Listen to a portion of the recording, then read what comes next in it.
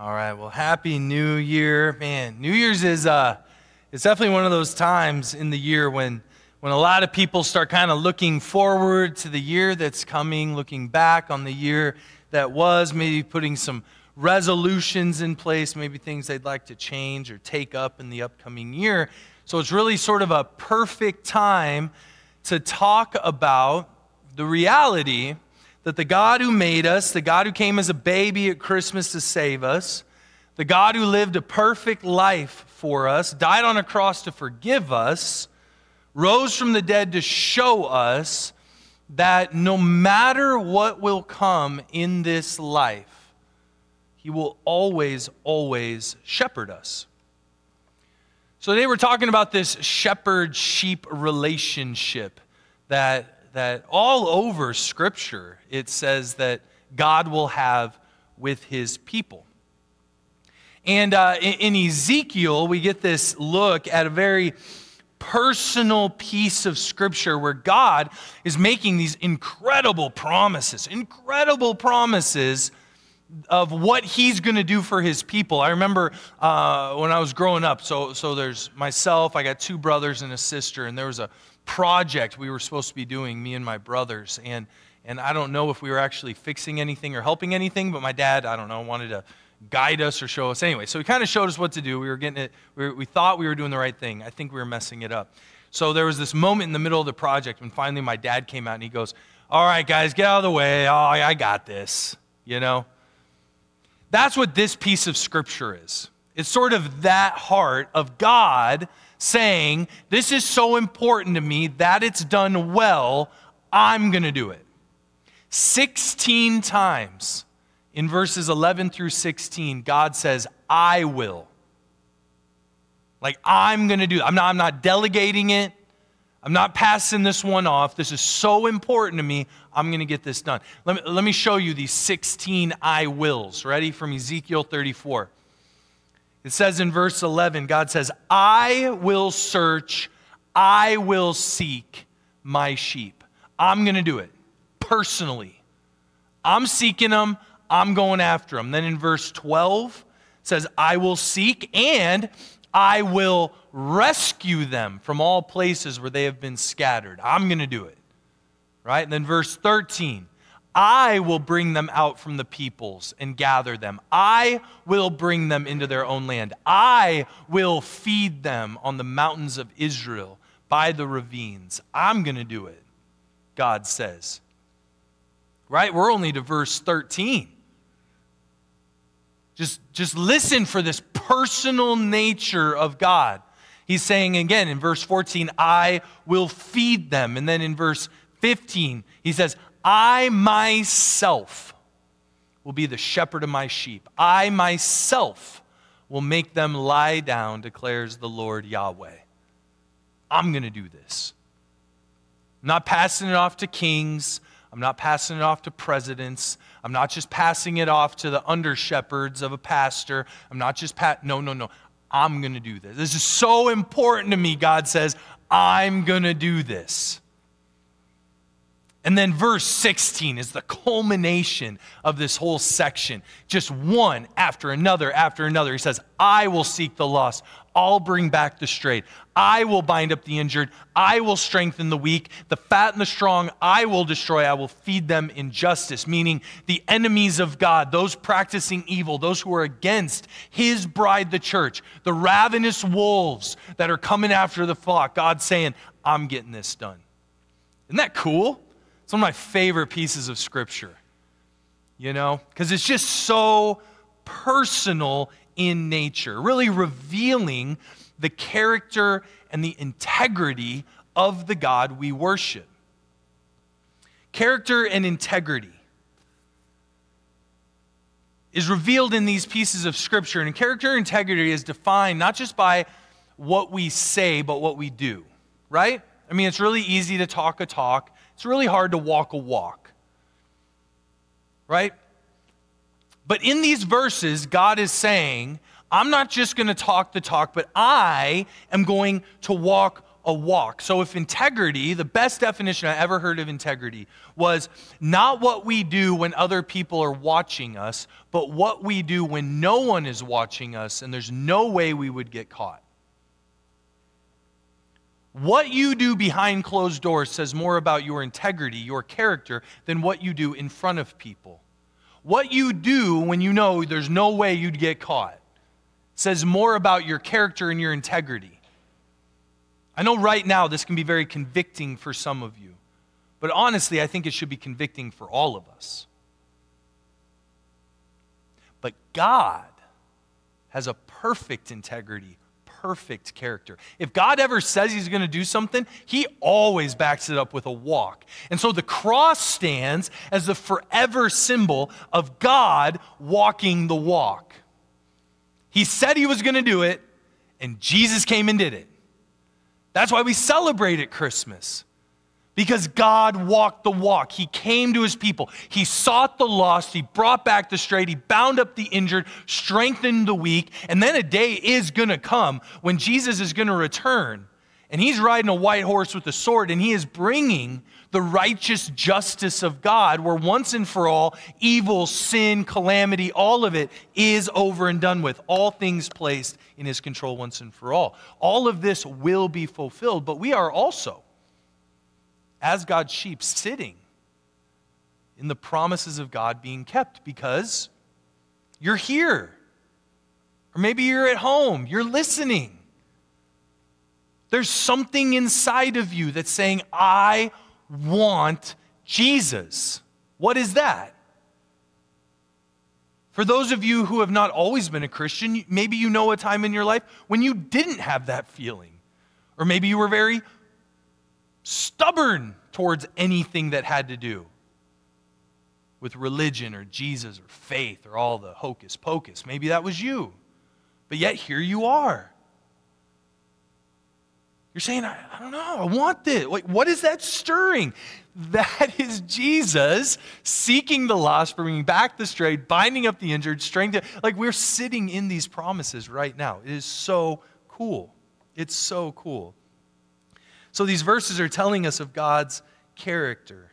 Now, as we talk, though, about a shepherd and a sheep relationship, and that's what it is. It's a relationship between the God who made you and the God who wants to be with you. There are two things we need to highlight, and these are two things I've been I've been kind of picking up on, not only in my own life, but in the life of Christians, as two things that are kind of holding Christians back from a more peaceful, joyful, intimate sort of relationship with Jesus, okay? There's two things we got to talk about. Some of these might sting, but that's all right, man. I want I, we need that crusty layer to break, okay?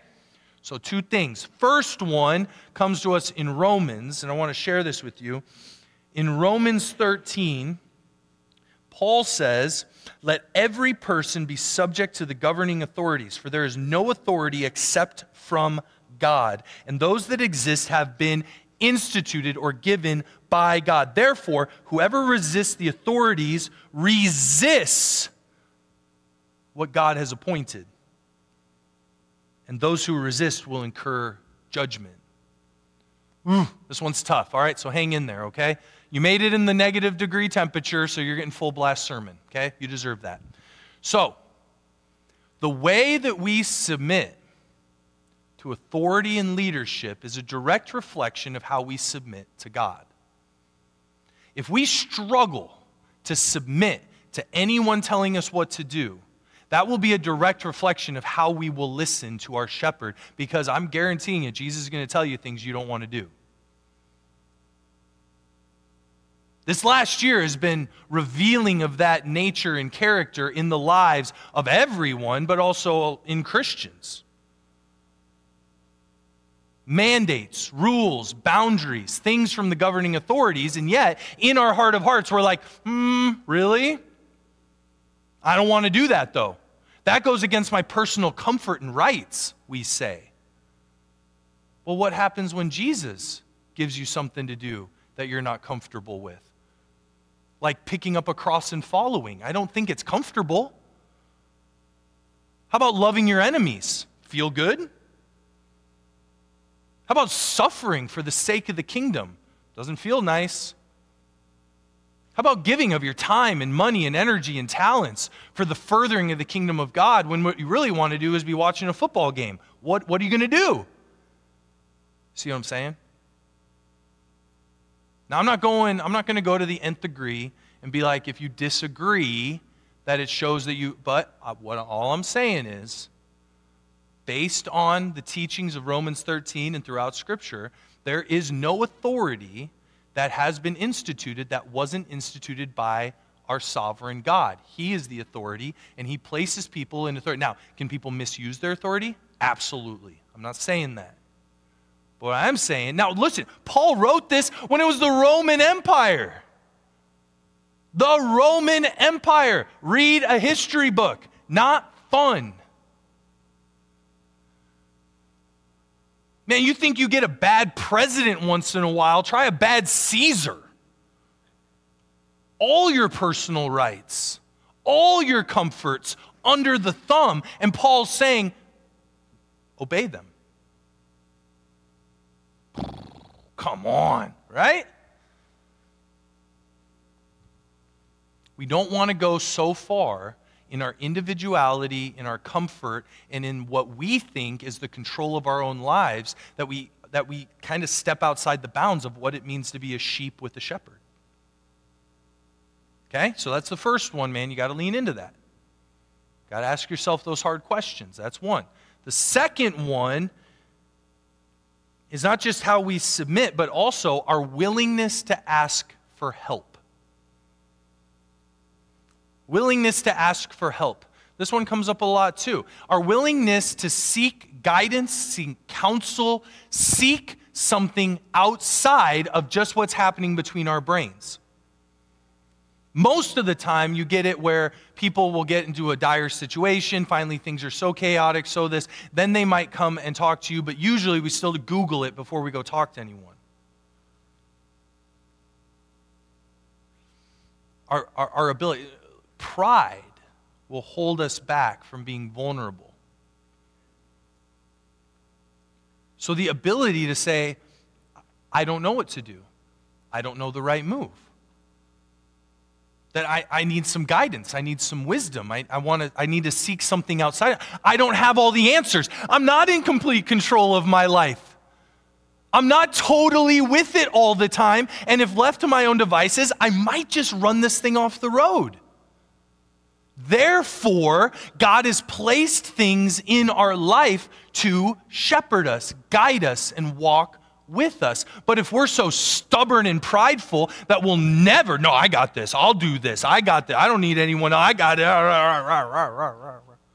That's crusty, man. You need Jesus to break that. That's not being a sheep. Right? The moment a sheep thinks it can do it on its own, it's most vulnerable to the wolves.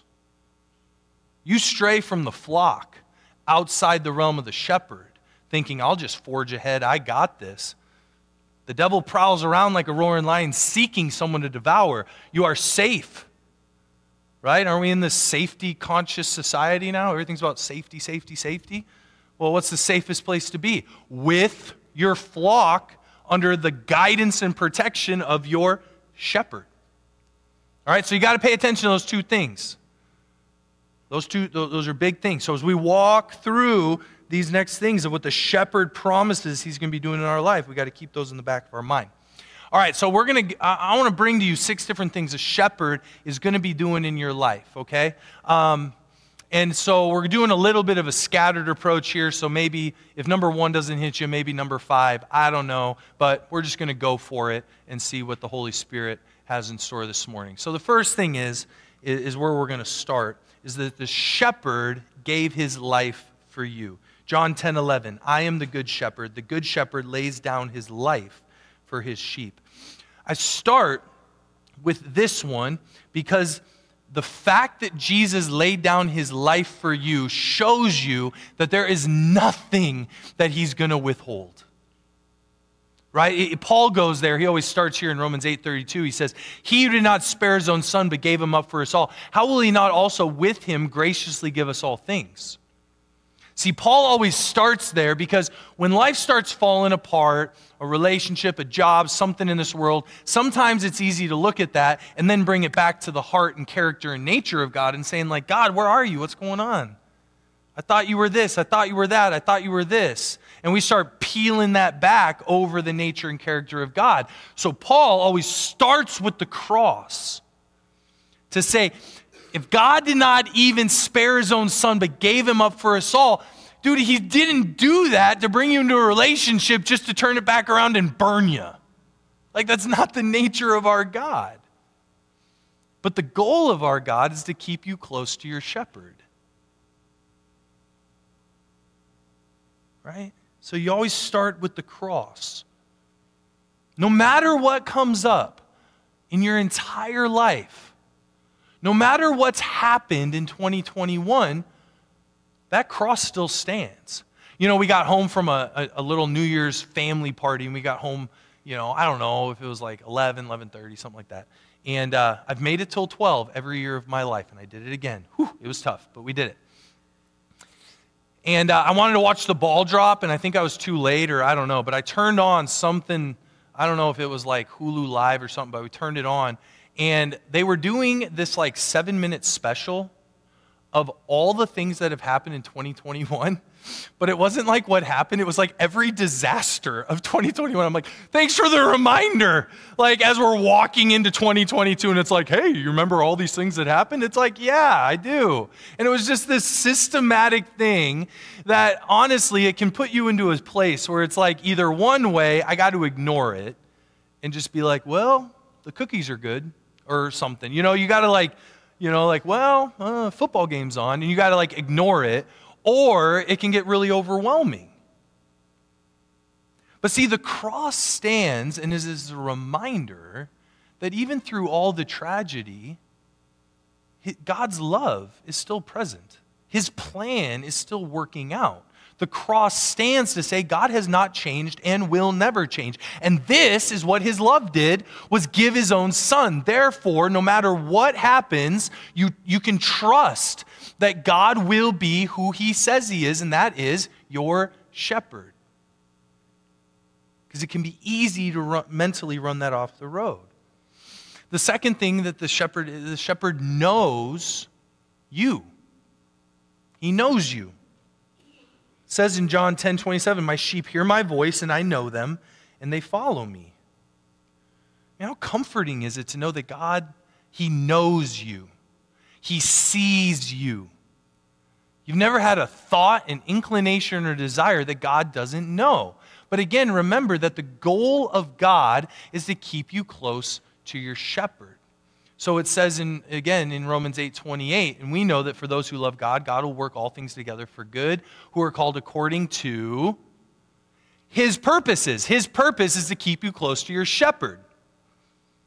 Therefore, if there is something in this world that you really, really want, but that thing is not going to draw you closer to your shepherd, don't be surprised if God doesn't give it to you.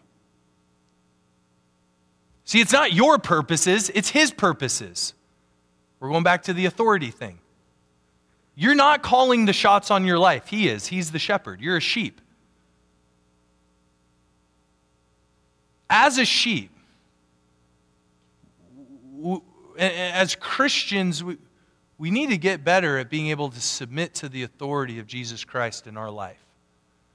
You don't have to understand it, you're not going to get it.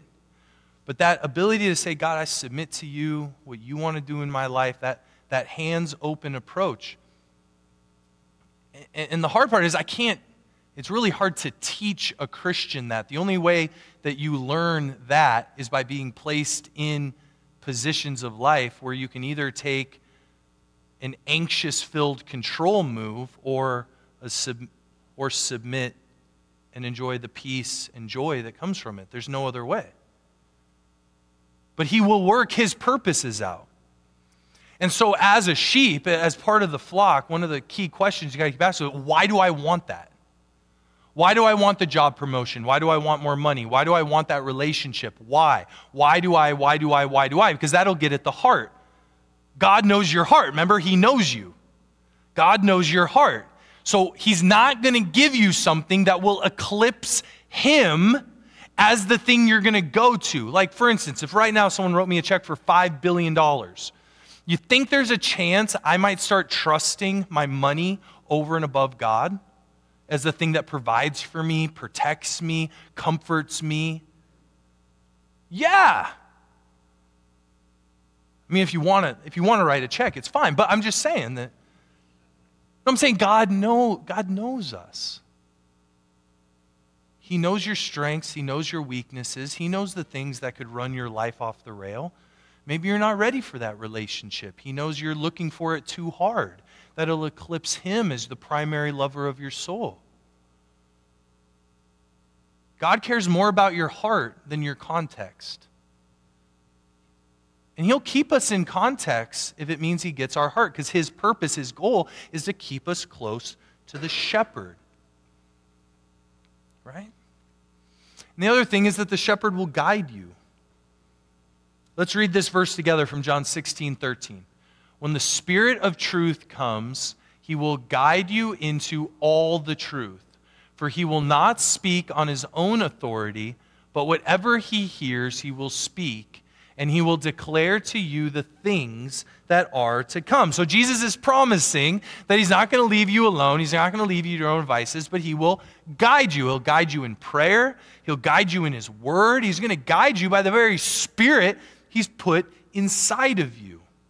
And the Holy Spirit's not just going to speak out a turn or whatever it feels like, but the Spirit is hearing from Jesus and delivering that message to your very soul. How cool is it that Jesus is personally talking to each and every person that he's put his spirit in? Right? I told you on Christmas Eve that I got my daughter these walkie talkies. And so we'll walk around and we'll and she's got one and I got one. I can ring her and we can talk to each other and it's like it's like you're just connected and all of a sudden, you know, she'll be off doing something. She's like, Daddy, you there? You there? I'll be like, Yep, I'm here. And she goes, Okay. And then that's it. The Holy Spirit's like the internal walkie talkie of our connection to God. That at any time you can press the button and be like, Hey, God, you there? And he'll be like, Yep, I'm here. What's up? He'd be like, Oh, just making sure. Or whatever. You know, if we spent more time praying than we did Googling our problems, it would make a difference. If we spent more time praying than just like searching over social media, it, it would make a difference. Like if I said to you right now, and this is maybe a touchy subject, but that, that eating well and working out will make a difference. Some of you are like, I know. Eating an unheard of amount of Christmas cookies will also make a difference. Maybe not the difference you want, though. Right? What I'm saying is, not a Christian guilt trip. I'm saying this in love. What I'm saying is, is that being in prayer, being in the Word, and listening to godly guidance and wisdom will make a difference in your life. Continually binge watching shows, manic shopping, eating, drinking whatever you want, filling the void with something else, and just following the course of this world will also make a difference in your life. It just might not make the difference that you are at, that you're searching for.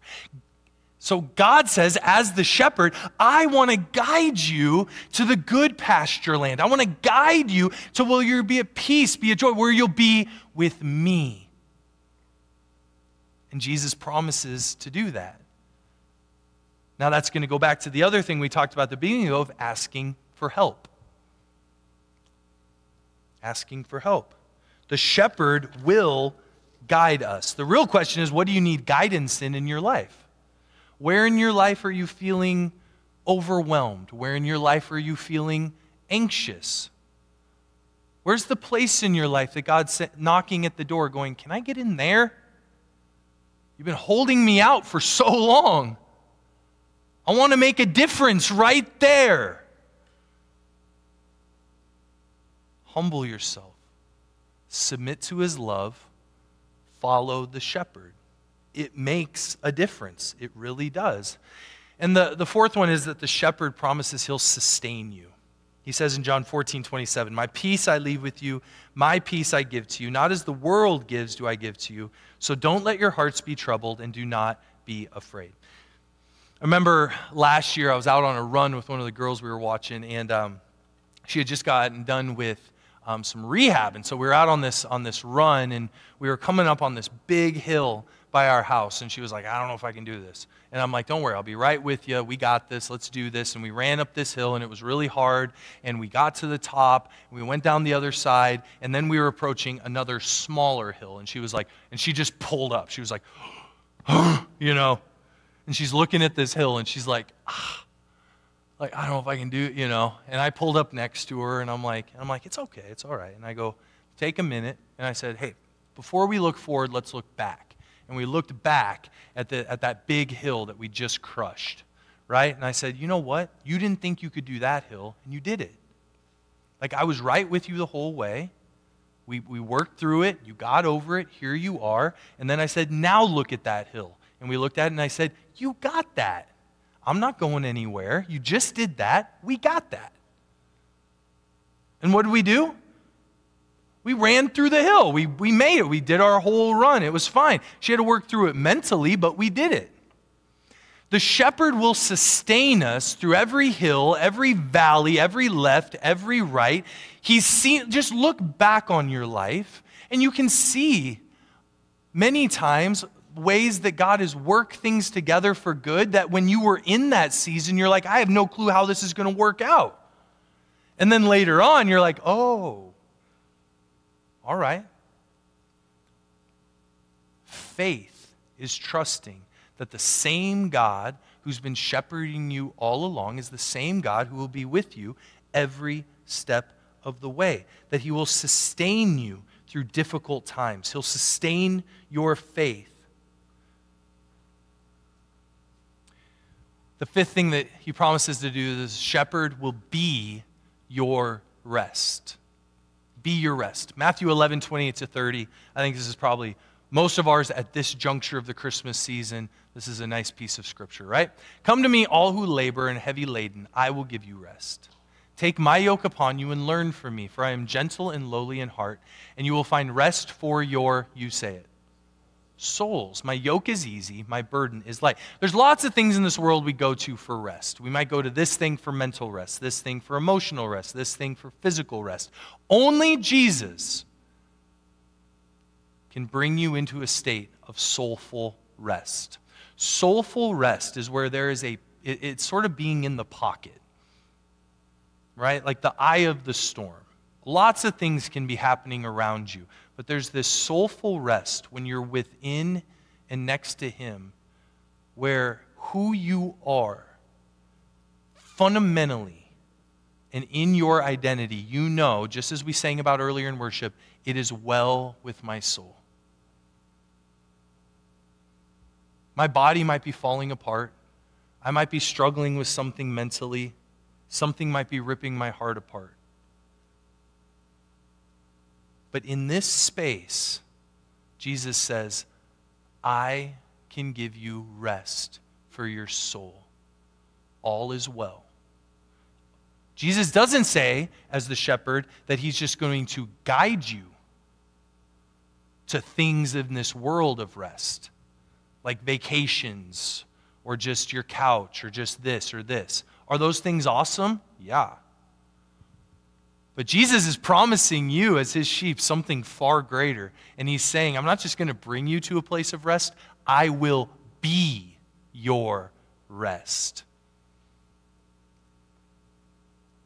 This is an avenue I think a lot of Christians, a lot of those following Jesus, I think we could take them up on this promise a little more often. Some of you might just be out of practice. Maybe right now you're like, I don't even know where to start with that one. Well, it's all the same ways that He guides you, because He's going to guide you to a place of rest. So, where do you start? You start by talking to Him. Jesus, I don't know what this rest for my soul looks like, but it sounds awesome. Would you guide me there? Maybe it's getting into the Word. I know something in my life during um, all of COVID when, when church was shut down and we were just doing online worship. I had a one thing that was very sustaining for me, and I know it was from the hand of God, is we still had to shoot worship services just online.